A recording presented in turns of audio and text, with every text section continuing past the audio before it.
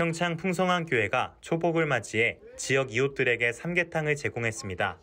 풍성한 교회 차은철 목사는 이웃을 향한 나눔을 통해 마을 전체가 주안에서 행복하고 건강하게 여름을 나길 바란다고 말했습니다.